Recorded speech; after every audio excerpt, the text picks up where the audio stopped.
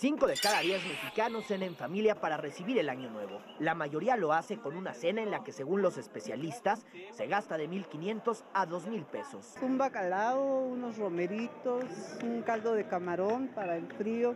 Sale a 170, mira, viene sin hueso. Por su parte, el kilo de romeritos cuesta 20 pesos, aunque los complementos para guisarlos no son nada baratos.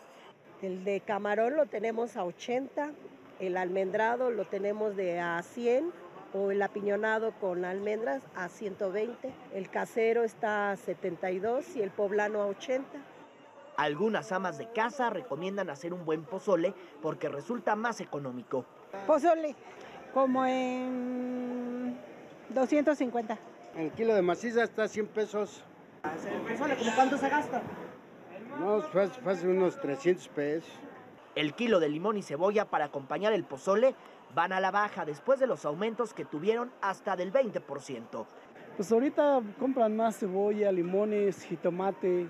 Ahorita casi la mayoría no hacen pozole y X cosas. Entonces, por ejemplo, el kilo de cebolla, ¿cuánto costaría? 16. ¿Y el de limón? Desde 18. Algunos más se inclinarán por preparar platillos diferentes. Eh, vamos a hacer jamón al horno. Oye, ¿y eso como más o menos cuánto me sale? Eh, alrededor de unos 400 pesos. ¿Y para cuántas personas sería? Eh, pues sí, alcanzan para un buen, como para unas 10, 15 personas.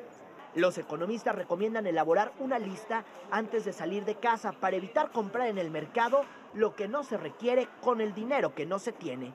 Irving Pineda, Azteca Noticias.